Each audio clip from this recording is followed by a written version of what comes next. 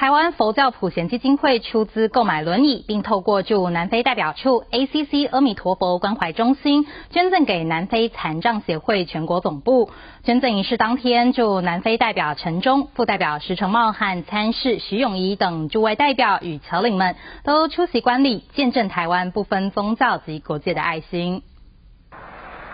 南非残障协会全国总部这一天洋溢着温馨欢喜的气氛。因为台湾佛教普贤基金会透过驻南非代表处和 ACC 阿弥陀佛关怀中心，要捐赠七十多部轮椅给南非国际残障协会，包括驻南非代表陈忠、副代表石成茂、参事徐永仪和秘书王玉清、市议会代表张以及南非残障协会各区代表与工作人员都出席了这场捐赠仪式。对于台湾人无国界的爱心，各个受赠单位表达由衷的感谢。甚至还有受赠代表感动的泛着泪光。今天很荣幸代表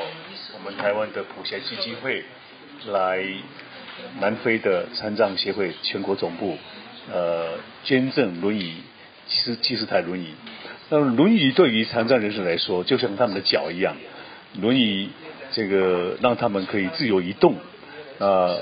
因为可以自由移动，所以可以工作，啊，也因此可以赚一些钱来维生。那么普贤基金会呢，就最近数年每一年都捐赠轮椅给南非的这个各相关机构，那么由我们代表处呃来代表捐赠，我觉得这个是非常有意义的事情。呃，在当我们台湾在国际上扮演人道这个救援提供者的角色，呃，这是很重要的一环。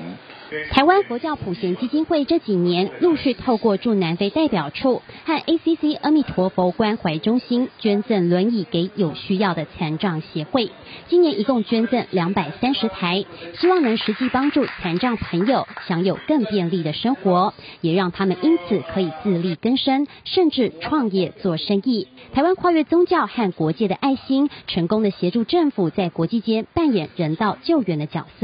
台湾观电视苏展庆。南非约翰尼斯堡采访报道。